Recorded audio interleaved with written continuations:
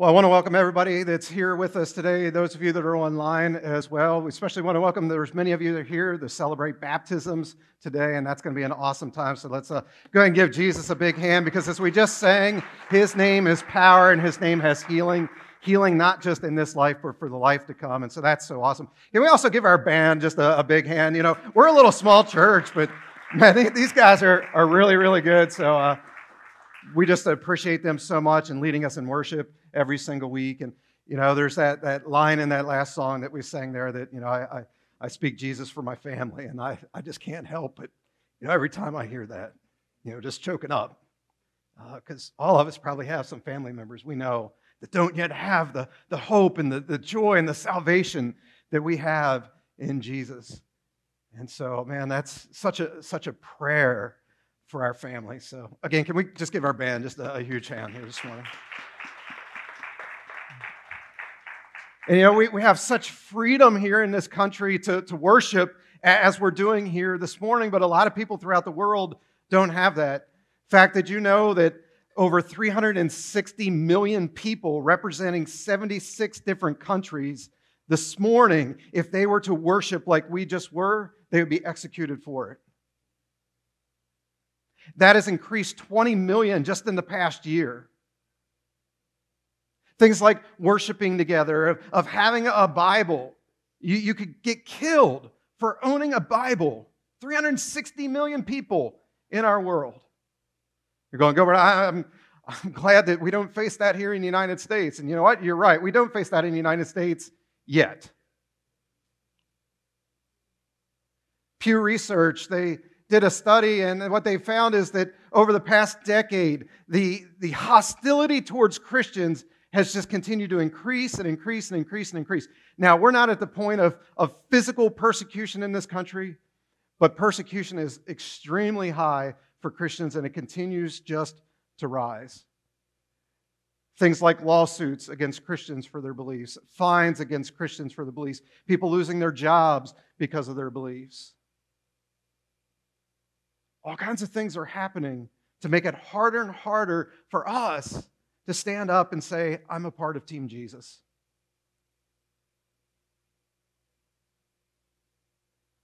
I don't know if you guys know this or not, but like as I, I just said, the, the lawsuits that have been happening, the people losing their jobs that are happening, has just been increasing. In schools, it's gotten really bad. Do you know who Richard Dawkins is? He's a very famous uh, atheist. And he has said that anybody who homeschools their children, and by the way, if you don't know this, but most homeschoolers in America are Christians. He said anybody that is a homeschooler in America that is teaching the Bible to their kids should be reported to their local authorities for child abuse.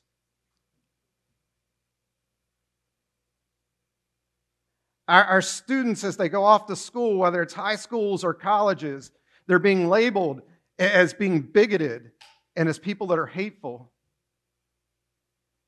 Just in the past year, a college in Massachusetts and one in, in New York, Christian colleges, had their accreditation heavily questioned because of their biblical beliefs. In fact, if you've read the news, just this week in Washington State, a Christian school there in Washington State sued the Attorney General because the Attorney General was trying to get them to hire, force them to hire people that aren't living according to a biblical moral standard. It's just getting worse and worse and worse and worse in our society. And maybe you've been experiencing some of this. Maybe at your work, maybe in your school, maybe in your neighborhood, maybe even amongst your own family.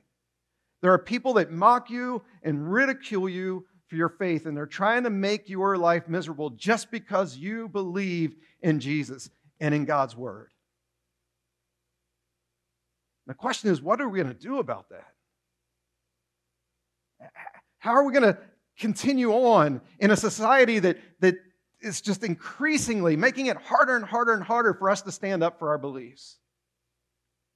Thankfully for us, we're not the first ones that have to deal with this.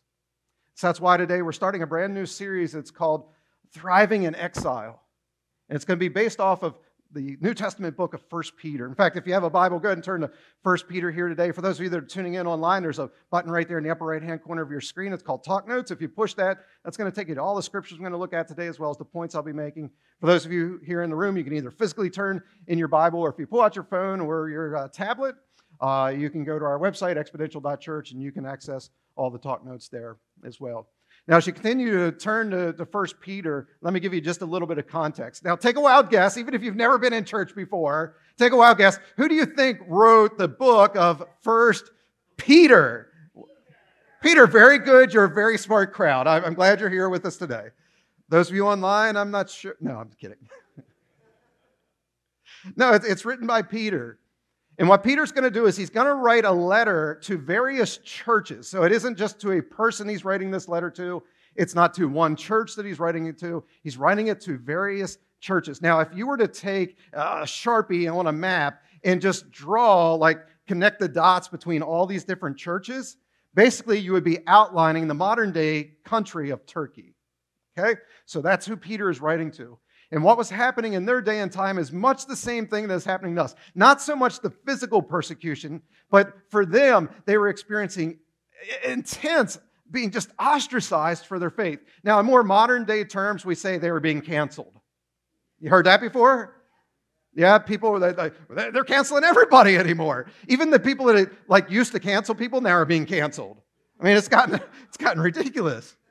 But that's what's happening is the people there in Turkey, they're trying to cancel the church. They're trying to cancel the Christians that live there. And so Peter is going to write to address this because he noticed that there was a couple disturbing trends in how they were trying to deal with this persecution that they were facing. And what they were doing is some of the exact same things I see Christians doing here in the U.S. The first thing is this they said, you know what? If you're going to hate us, we're going to hate you. How many of you seen some Christians you know, especially online, that you're like, should you be posting that? That seems like really mean. That, that seems like very hateful. You seen that before? Am I the only one that's seen it?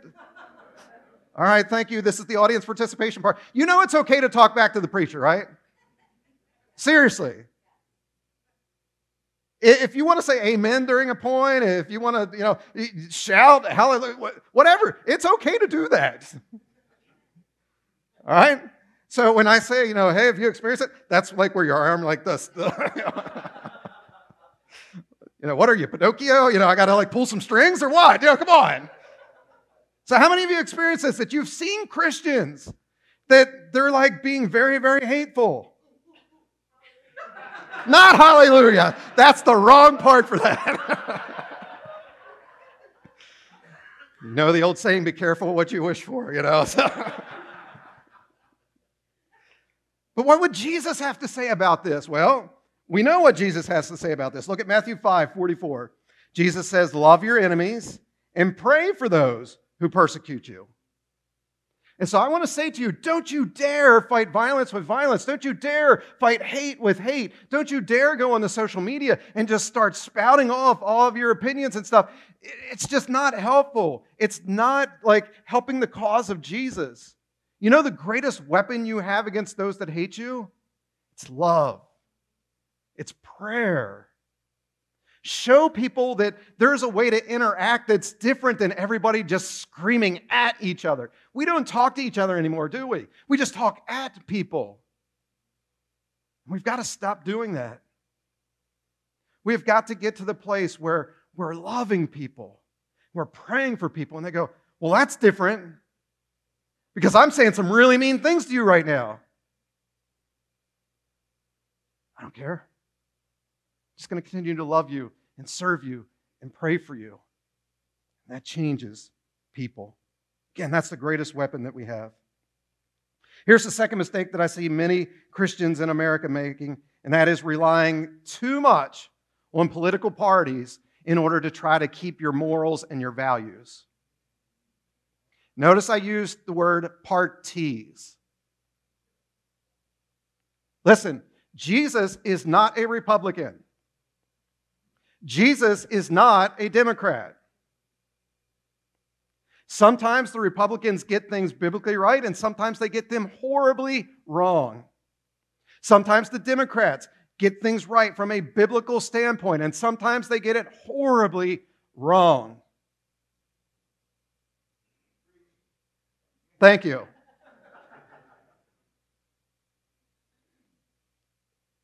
We cannot rely on political parties to be like the, the main thing that we're focusing on. Our job as followers of Jesus is to be on mission with Him. And what is the mission that Jesus has given us? He's given us a mission to go out and help Him to save the world. The world. And He has asked us to help Him to make disciples of all nations.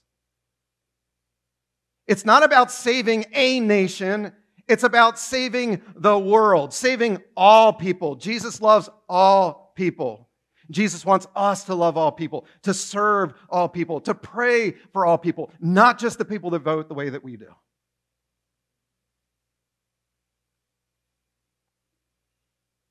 Don't rely on political parties. That's not what it's about.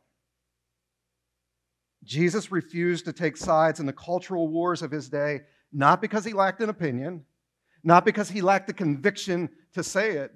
He did it simply because he knew that the moment you choose a political side, what you've done in that very moment is you've alienated, in our case in America, half the population. Our job is to help save all people to pray for all people, to serve all people, not just half of the nation, the entire nation.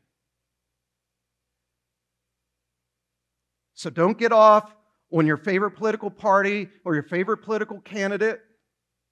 It's about Jesus. He is the king. He is the king, and we are to serve him and serve him only. Because when you choose a political party, what you're doing is you're choosing a view over a you. Say that again. When you choose a political party, you're choosing a view over a you. And what's one of our core values here at Exponential? What, what's, the, what's the t shirt that I'm going to wear out in the baptism in just a little bit? What's it going to say on it? You matter. Who matters? Just Republicans? Just Democrats? No, who matters? Everybody. You matter. Everybody matters. Now, I know you have a question then. Do you never take a stand then for biblical things? The answer is yes, you sometimes do. You're going, well, when do you do that? And I'm going to say to you, you need to come back because I'm going to talk about that later in the series. Today, what we're going to do is we're going to start by looking at the first of four values we need to have if we're going to survive in a, a, a world and in a nation that is increasingly becoming hostile towards us. All right, so let's jump in. 1 Peter chapter 1. We'll look at verse 1 and then the beginning part of verse 2. So Peter writes this From Peter, an apostle of Jesus Christ, to God's people who are scattered like what? They're scattered like exiles in Pontus, Galatia, Cappadocia, Asia, and Bithynia. God the Father decided to choose you as his people now, a couple of observations here. The first one is this notice that he says that they are living as exiles. In their own nation, they're living as exiles. Basically, he's saying it's like you're a foreigner in your very own country. And again, anymore, that's sort of what it seems like here in America that we're foreigners living in our very own country. Because people have gotten so far away from biblical Christianity. And so, what, what do you do about that? How do you thrive in an environment like that? In an environment where you feel oppressed and, persecuted by your non Christian neighbors or family members or friends? Peter reminds them here that look, you belong where you're at. God has chosen you for such a time as this. And I want to say the exact same thing to you that you are living in the neighborhood that you're in. You're in the workplace that you're in. You're in the family that you're in. You're in the school that you're in for a reason. God has you there for a reason. He has chosen you to be there. Why? To be His salt and His light to a lost and hurting world. To show people that there is a different way to live, that we don't have to be hateful, that we can love all people, serve all people, pray for all people. God has chosen you for the role that you're in. You are not there by accident. God has a plan for you, even in the toughest of situations. And his plan isn't for you just to survive, his plan is for you to thrive in exile. Now, I know some of you are going, Gilbert, I, I don't know. I, I, it's tough where I'm at. I don't know if I can stand strong in the midst of some of the persecution that I'm currently facing. Or some of you are, are, thinking about, you know, hey, in the future, it may get worse where I'm at. I don't know if I'm going to be able to stand in that. Well, here's the good news for you little of you standing strong for Jesus has anything to do with you. Peter explains why. Look at the second part of verse 2. He says, God's Spirit makes you holy and sanctifies you for obedience to Jesus because you've been sprinkled with his blood. May his grace and peace be given to you in abundance. Now, I love this verse because, or the second part of this verse here, because we see all three parts of the Trinity here. God the Father, God the Son, and God the Holy Spirit. In fact, we could summarize the entire book of First Peter just in verse 2 here. Because what Peter is saying is this God the Father has chosen you, Jesus the Son has come to save you, and the Holy Spirit of God wants to empower you. In fact, we could almost summarize the entire Bible with just that. That God has chosen you, the Son, Jesus, he wants to save you and forgive you. And the Holy Spirit is going to empower you for what it is that you need to do. Peter continues on then in verse 3. He says, Praise God, the Father of our Lord Jesus Christ. God is so good. And by raising Jesus from death, he has given us new life in a what? He's given us a, a living hope that lives on. Now, here's what's interesting. I don't know if you've thought about this, but if there's such thing as a living hope, what does that mean there also has to be? A dead hope. You ever met somebody who has lost all hope? Again, this is the audience participation part. You ever, you ever met somebody like that? That they've given up? They, they've lost hope? It's interesting over the last decade or two, medical doctors and psychologists now are seeing just how important hope is. That just as much as what they can do medically for people or mentally for people, that people that have hope do so much better. So, uh, somebody that's diagnosed with cancer, if they have hope that, you know, I'm going to beat this, the likelihood of them beating it greatly increases. That doesn't mean that just because you have hope that, that it's going to happen for you, but it, greatly increases your odds. Athletes that get injured, if they have hope that, you know what, this, this knee injury isn't the end of my career, I'm going to be able to make it back. Those athletes, they heal faster and they're more likely to make a comeback. Even things like students in school, they found that if a student has hope that they're going to be able to, to pass the test or pass the grade or, or get through a class that's tough, when they have hope for that, the average GPA is so much higher than the kids that just give up. And see, the same thing needs to, to be true for us. We need to have hope. And it's you know, not so much about the, the grit that we have or the skill that we have or how smart that we are. It's about hope. But here's the problem. So often we use the word hope as a verb. We say things like, I hope I get the job. I hope I find a girlfriend. I, I, I hope that I get invited to the party. I, I hope that I have enough money to pay the bills this month. In other words, I hope. I hope you are the, the key central figure of your hope. But what if we changed hope from a verb to a noun? What if instead, instead of saying I hope, we said I have? hope. I have hope. You see, hope actually has a name. His name, we just sang about it, is Jesus. Our hope is found in Jesus. It's not I hope, it's I have hope because I have Jesus. God the Father has chosen me, the, the, the Son has saved me. The Spirit's going to empower me to conquer and do anything that He asked me to do. I have hope. Jesus said this about Himself I will never, ever leave you, and I'm never, ever going to forsake you. And Jesus said, In this world, you are going to have trouble. But He said, Take heart, have hope, for I have overcome the world. Again, Jesus, He is our hope.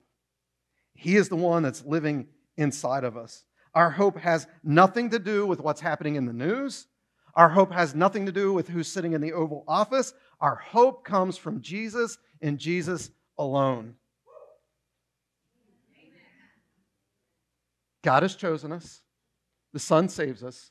The Spirit empowers us. Verses 4 and 5, Peter then says this And God has an inheritance for us, an inheritance that is kept, that is kept in heaven for you, that can never decay, be ruined, or disappear. They are for you who through faith are kept safe by God's power for the salvation which is ready to be revealed at the end of time. Jesus continues to do and will continue to do everything that you need to have done in your life. He is the hope that you need, no matter what it is that you faith. And so here's the big point that I want to make to you today. If you're taking notes, put it on your outline this way. My hope transforms opposition into opportunity. Again, so many Christians right now, we we see them out there and they're fighting against the world. They're fighting against everybody that's against us. And we're like, everybody opposes. But it's not that you're being opposed, it's an opportunity to show the hope and the love and the grace and the mercy of Jesus to other people. As followers, again, we don't just survive, we thrive even when bad things come our way. We rejoice when bad things come our way. You know, there's a great example of this. It's in Acts chapter 5. Peter himself, you know, the, resurrection has happened. Jesus has returned back to heaven. The Holy Spirit has come. Pentecost has happened. And now Jesus has said, Look, your mission is to go and make disciples of all nations. And so that's what the disciples and the early followers are doing. They're going out and they're, they're discipling people or discipling people or discipling people. And they're just talking about the name of Jesus to anybody and everybody that they can. But who wasn't happy? The religious leaders. They're not happy. And so they tell Peter, stop preaching about Jesus. What does Peter do? He keeps on preaching about Jesus. And they're like, stop preaching about Jesus. If not, we're going to arrest you and we're going to beat you. What does Peter do? He keeps on preaching Jesus. So what do they do? They arrest him and they beat him to a pulp. They flogged him with whips. We read this in Acts 5. They beat him and what do they say to him once again? Stop preaching about Jesus. And then they let him go. Now, many of you probably think Peter probably left like this all beaten and bloodied, his tail sort of between his legs. You know how Peter left?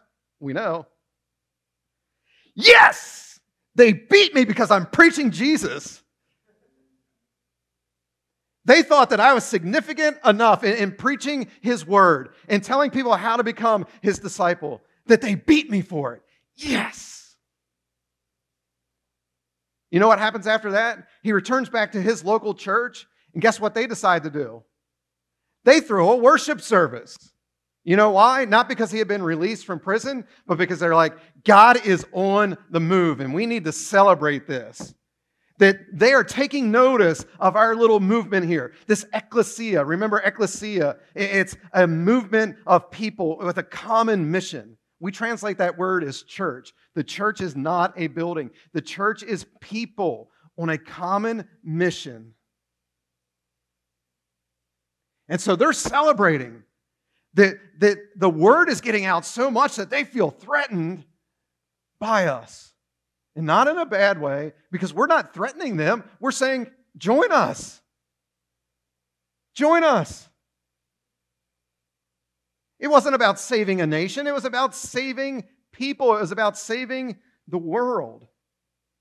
Here's what you need to understand every single time throughout all of human history for the past 2,000 years, every single time the church is greatly persecuted, the church greatly grows. I actually heard a, a missionary uh, from uh, China one time that said, I wish you American Christians would stop praying for the persecuted church in China. And it's like, what? Why wouldn't you want us to pray for it? Because they were like, we don't want to become like you guys. Because you have a cultural Christianity where people just show up at the church on Sunday, they check the box that, okay, I went to church on Sunday, so I must be okay with Jesus. And then they walk out the door and live like hell. And this missionary was saying, we don't want that. The people in China that actually become followers of Jesus, we know they're really followers of Jesus because we can be arrested for our faith. We can be beaten for our faith. We can be greatly persecuted for our faith. And so we like persecution. The church is on the move, the church is on the rise. Again, every time for the past 2,000 years that we read about throughout you know, biblical history and then modern day history, when there's great persecution, the church grows and, and, and doesn't just, again, survive, but it actually thrives. And so you can beat us down as the church, you can beat us down as Christians, but we're always going to get back up. You can try to silence us, but we're going to continue to preach the word of God. You can try to cancel us, but we're going to keep coming back from the dead, just like Jesus did. Why? Because we don't hope, we have hope. Verse 6. Peter writes, Be glad about this, talking about this persecution and suffering. He says, Be glad about this even though it may be necessary for you to be sad for a little while because of the many kinds of trials that you suffer. Peter says, Look, the, the trials that you're facing today, they're really not all that big of a deal, especially in light of that you're going to spend a perfect eternity where there is no more sin, suffering, sickness, disease, death. You know, that's what we have to look forward to. And so, no matter what happens here on this planet or in our nation, it's only for a little while. It's only for a little while. And so rejoice in the sufferings. And remember that we have hope. We have hope. Verse 7. Peter says, These trials will show that your faith is genuine. It's being tested as fire tests and purifies gold, though your faith is far more precious than mere gold. So when your faith remains strong through many trials, it will bring you much praise and glory and honor on the day when Jesus Christ is revealed to the whole world.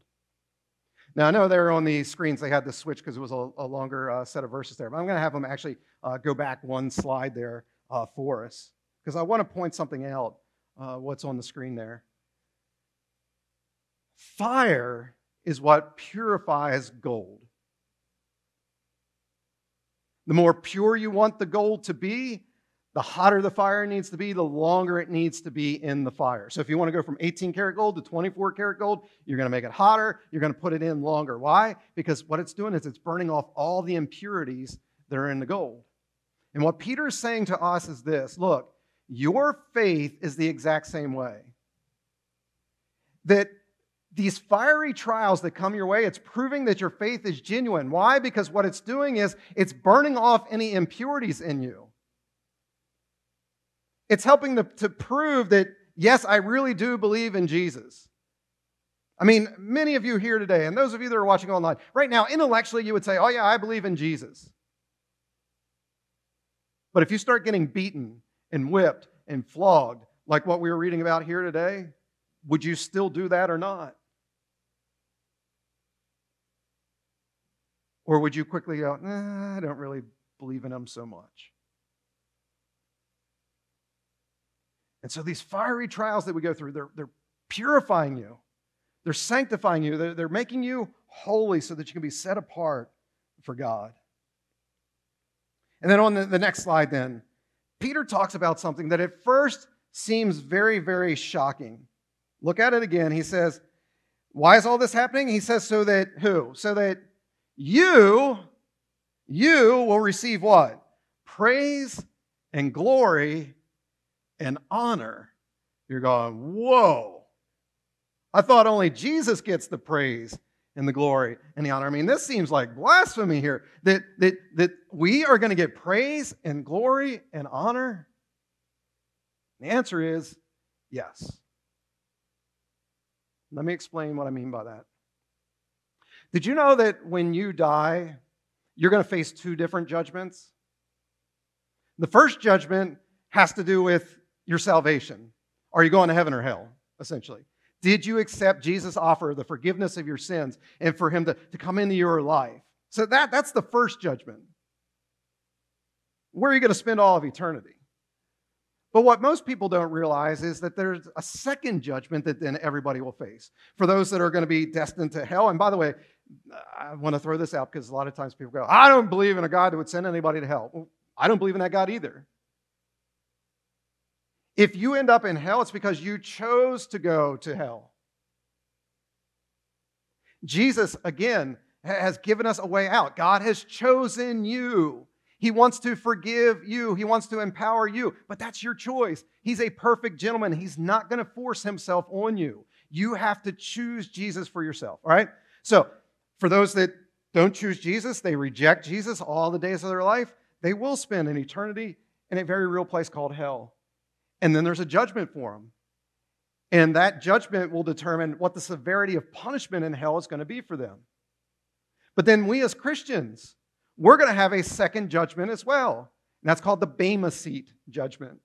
And what happens at this particular judgment is you are going to be judged for how well did you fulfill Jesus' mission. What is Jesus' mission for all of us? Make disciples who do what? Make disciples who do what? make disciples. That's your mission here on this planet. Not getting a bigger house, not getting a fancier car, not getting your kids onto the right soccer team. None of that matters. You are here for one reason and one reason only to make disciples who make disciples who make disciples. And you're going to be judged on that. And that's going to determine the reward that you have in heaven. And also, what will be determined in that is what did you do with what God gave you? How were you a steward of your time? Every single second of every single day of your life is going to be judged at the Bema seat judgment. How did you do with the talents that God gave you? Did you use them all for yourself or did you use them to glorify Him, to continue His mission? Every single dollar that has ever, ever come into your possession, into your hands, it's going to be judged. What did you do with that money? Were you a faithful steward of God's resources or not? Every single word that comes out of your mouth is going to be judged there at that Bema seat judgment. It's pretty sobering, isn't it? Your time, your talent, your treasure, your testimony, all judged. How did you do in fulfilling Jesus' mission? And those that do really good, they're going to get rewarded greatly. Big treasure. In fact, scripture says a crown of gold. I mean, in light of everything that I've been talking about here, do you see now why Jesus said, Store up for yourselves treasures in heaven, where moth and rust do not destroy and where thieves do not break in and steal? He says, Don't, don't store up for yourselves treasures on earth because moth and rust will destroy and thieves are going to break in and steal. Store up for yourselves treasures in heaven. And I want to challenge you to a treasure off, to a, a crown off. It's a competition. I want my crown to be bigger than your crown. And I hope you want your crown to be bigger than mine. You're going, well, that sounds really arrogant and cocky. Why would we make it into a competition? Well, here's the thing I haven't explained it all to you yet. See, it's not about us. In Revelation chapter 4, we read that when that judgment comes and we're given our crown, we're given our reward, what we're going to do with that reward is we're going to get down and lay it at the feet of Jesus.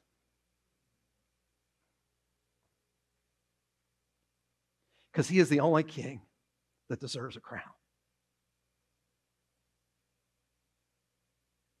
And it's then that what Peter's talking about here is that all of heaven, in, that moment, will give you the praise and the glory and the honor because they're like, that was a life that was well lived. That was a life that was worthy of a king who was willing to come and die for you.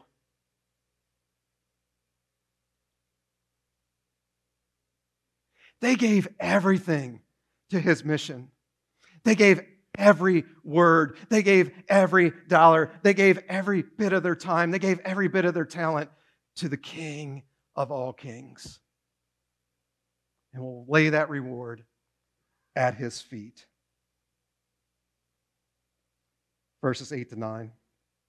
Peter writes, You have never seen Jesus, you don't see him now, but still you love him and have faith in him.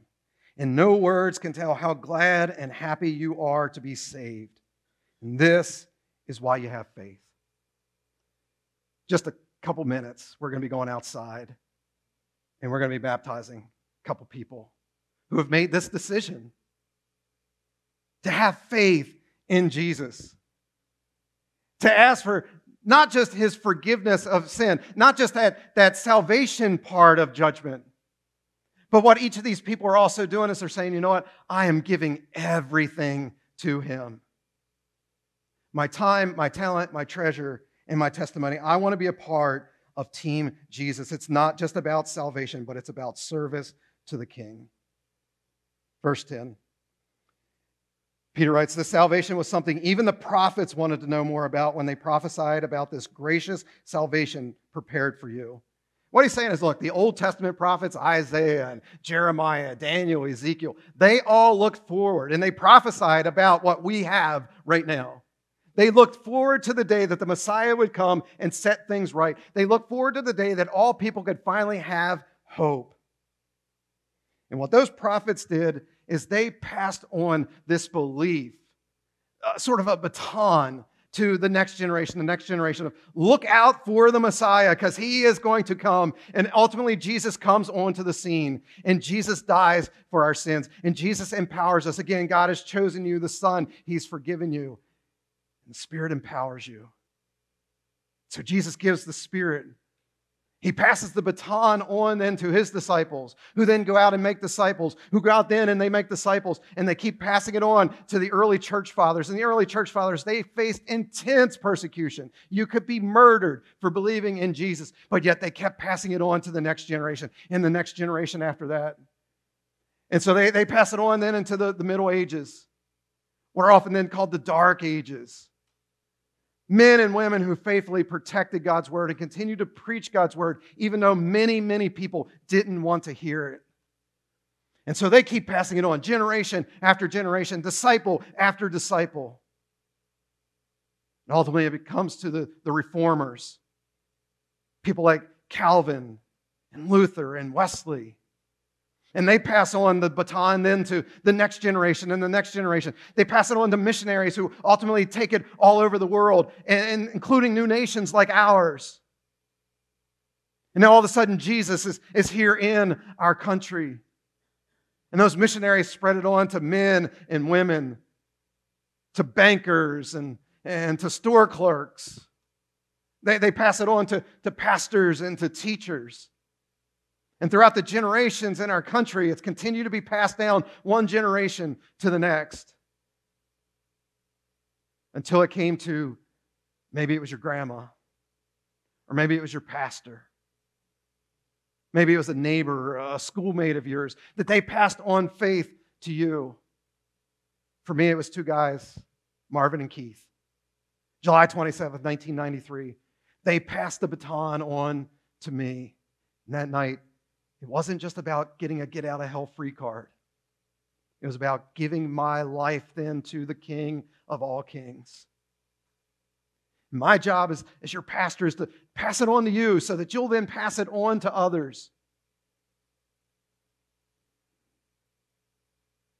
The next generation needs you. And I'm not just talking literally like the millennials and, and Gen Z, I'm talking about the next generation of Christians. They need you to be who Jesus has called you to be. Not just somebody that's glad that I'm not going to hell, but somebody who is on mission for Him. We've got to continue to pass it on because God has chosen you. Jesus has saved you, and the Spirit has empowered you to fulfill this mission.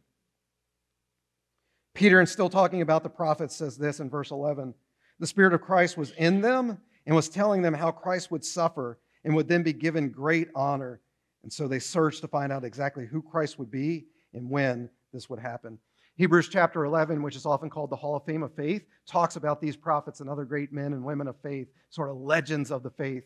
But then at the end of Hebrews 11, it says something very, very interesting.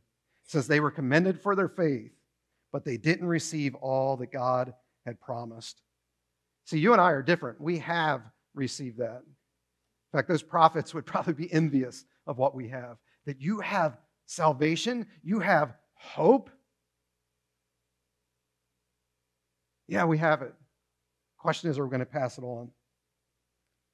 I'll wrap up then. Peter says the, uh, again about them in, in verse 12. He says, They were told that their messages or that their messages were not for themselves, but for you. And now this good news has been announced to you by those who preached in the power of the Holy Spirit sent from heaven. It is also wonderful that even the angels are eagerly watching these things happen. Right now, angels are watching over you, and you know what they're doing? They're watching over to see are you going to fulfill the mission or not? Are you going to be somebody that devotes your entire life to making disciples who make disciples who make disciples? You're going, well, I don't want to be a pastor. You don't have to be a pastor. Do it right in your neighborhood. Do it right in your workplace. Be the pastor of any place you walk into. Share the good news of Jesus with as many people as you can. Share how to grow in a relationship with Jesus with as many people as you can. We're not to hate people. We're not to save a nation. We're to save people. Why? Because people matter. People matter. Again, one of our core values here at Exponential. We need to every single day and in every single way show people you matter to God and you matter to me as well. So, with your time, your talent, your treasure, and your testimony, go out there. No matter what you face, no matter what persecution comes your way, don't you dare give up. Don't you dare give in. Don't you dare quit or turn away. Because we don't hope, we have hope. And his name is Jesus. So let's pass that hope on to as many people as we can. Let's pray.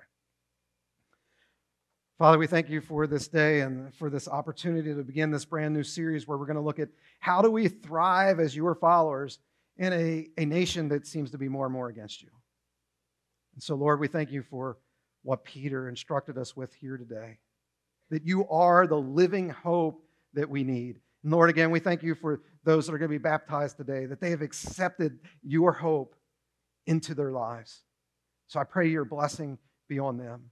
And I pray your blessing be on us as well. Not a blessing of, of health, wealth, and prosperity, but a blessing of your spirit, empowering us more than the Spirit has ever empowered us to go out and do what it is that you've called us to do. Lord, I, I just pray that all of us would keep in mind not just this day, but the day the day where we stand before you with that crown and we lay it at your feet. Again, it's not about this day, it's about that day. So help us to always live every single second, every single moment in light of that. That one day I'm going to be judged. And I'm going to be rewarded based on what did I do with my time, my talent, my treasure, and my testimony. So, Lord, I pray that each and every one of us would be found faithful, that we be good stewards of everything you've entrusted us with, so that we can make a difference, not just in this nation, but to do what you said, and that is to make disciples of all nations. Lord, use us in that way. And I pray all this in Jesus' name. Amen.